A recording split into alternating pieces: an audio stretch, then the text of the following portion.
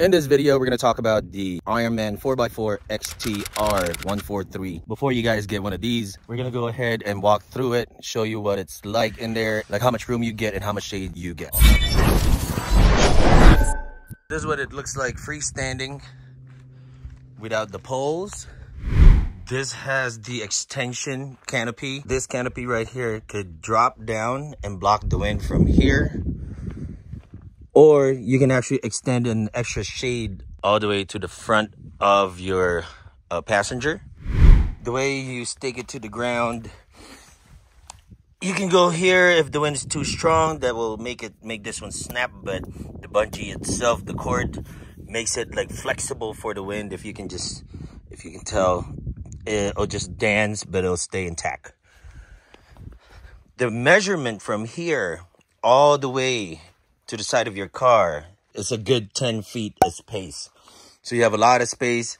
Also from that corner all the way to the rear bumper is also 10 feet.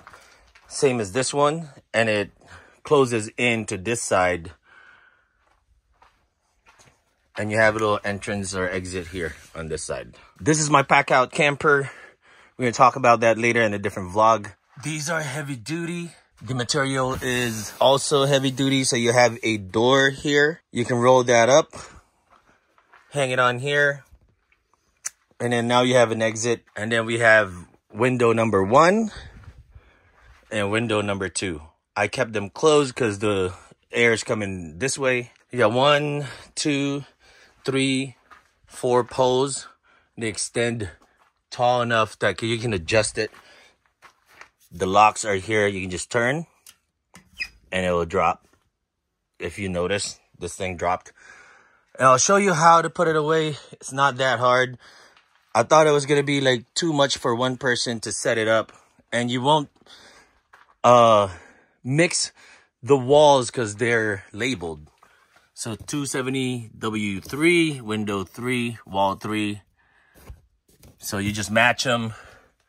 Same as here win wall two and wall one. They're heavy duty Velcro. You can just snap it off. When you're taking it down, snap back up.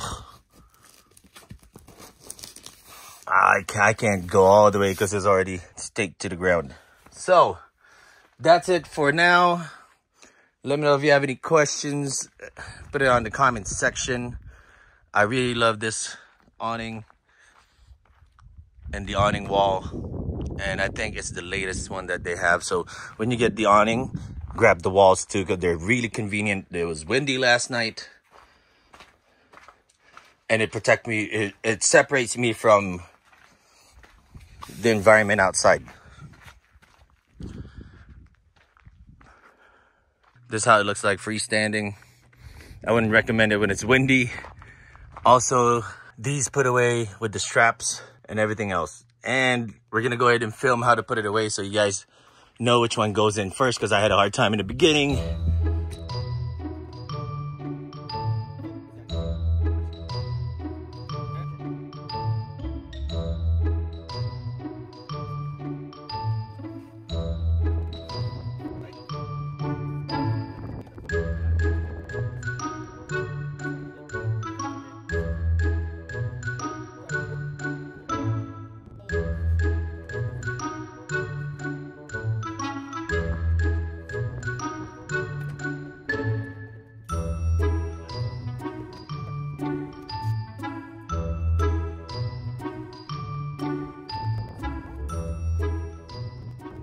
My name is Haze Wonder. If you guys are new to this channel, I do outdoor and mainly lifestyle videos, cooking, camping, daddy daycare with my kids. So it's a mixture of everything. It's not just outdoors. You guys have a good one and I'll catch you on the next one.